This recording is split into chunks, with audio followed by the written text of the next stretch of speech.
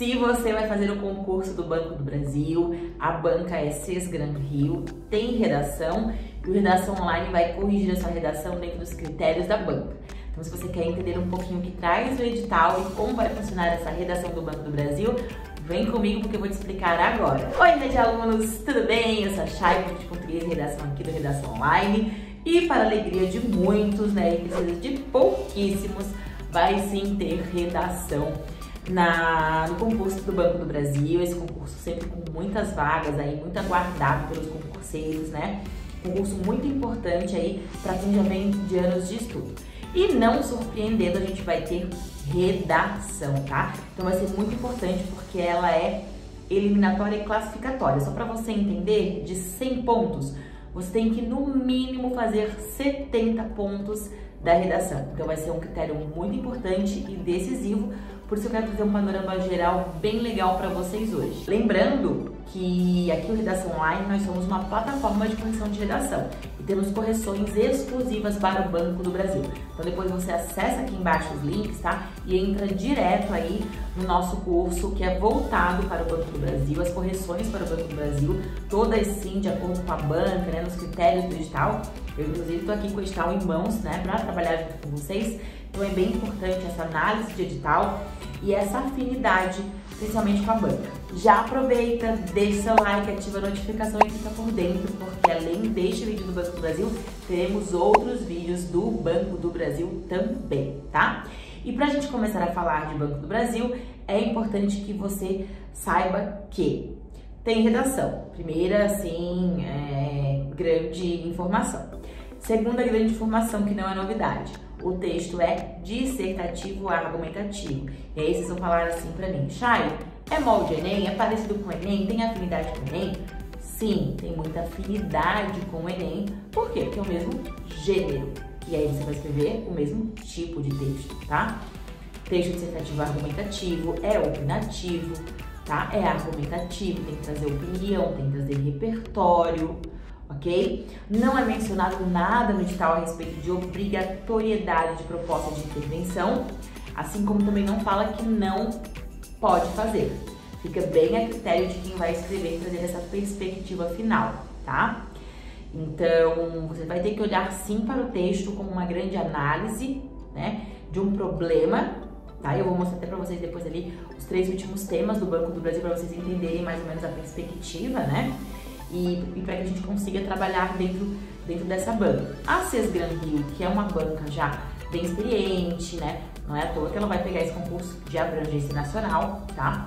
Ela trouxe um edital assim bem enxuto, eu vou trazer com vocês alguns itens aqui da redação. Então, dentro do edital bem enxuto, é importante vocês saberem, é importante vocês saberem que a gente tem 100 pontos, tá? Desses 100 pontos, o mínimo que você tem que completar são 70 pontos. E aí você se pergunta muitas vezes, né? Destes 100 pontos, quais são os critérios? Como a banca vai avaliar a minha redação? E ela traz aqui como critérios, tá? Para avaliar apenas o, do item A ao item E. Então são cinco pontos, né? Cinco pontos que vão basear tudo, todo o texto, tá? E aí traz adequação ao tema proposto, que é o item A, adequação ao tipo de texto solicitado, que é o item B, emprego apropriado dos mecanismos de coesão, então referenciação, sequenciação, demarcação das partes do texto, né? Entender a capacidade de selecionar, organizar e relacionar de forma coerente argumentos pertinentes ao tema proposto, bem parecido com o Enem, a gente tem isso. E por fim, pleno domínio da modalidade escrita.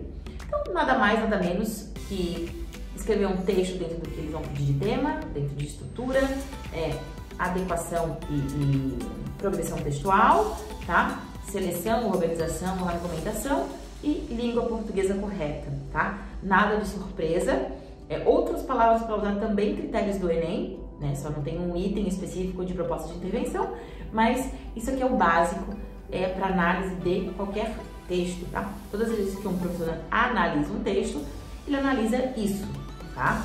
Então a gente tem que pensar assim, que a Cesar Rio não está cobrando nenhuma novidade em relação a concurso público.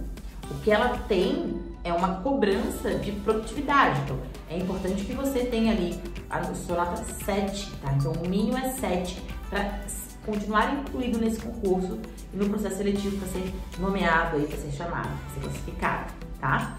Então, é uma nota de corte alta, é uma nota de corte alta. Deixa eu mostrar para vocês aqui, deixa eu pegar aqui dentro do, do meu material, uh, temas, tá?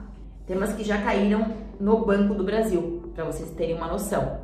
É, em 2015, caiu a prevenção do espaço público, um compromisso do cidadão com a sua cidade. Então, cidadania, espaço público, tá? Depois, teve um outro tema que caiu assim: é possível conciliar os interesses pessoais do trabalhador e os interesses da organização? Então, caiu ali questão trabalhista, questão de organização, questão das leis do trabalho, daria trazer uns repertórios bem legais, né? Tanto a questão histórica do Brasil com o trabalho, quanto daria de trazer até uma revolução industrial aí para falar do trabalho do trabalhador, tá? Questões femininas no trabalho, vários pontos importantes, mas essa questão, os interesses pessoais do trabalhador com os interesses das instituições, né? Processo trabalhista. Então, é um tema assim muito amplo, tá? E muito interessante, principalmente porque é alguém que vai lidar com um dia a dia muito administrativo também e os direitos das pessoas, né? E em 2018, recentemente, o concurso que teve anterior, que trouxe que motivação, filantropia ou competitividade devem nortear as ações de responsabilidade social em uma empresa, tá? Então, uma empresa ter responsabilidade social deve ser porque ela tem uma grande competitividade ou porque ela é boa de coração e ela é filântropa. Teria que pensar bem, tá? Então, uh, não são temas, não dá para dizer que a CES Gran Rio trouxe até hoje no Banco do Brasil temas extremamente complexos. Não.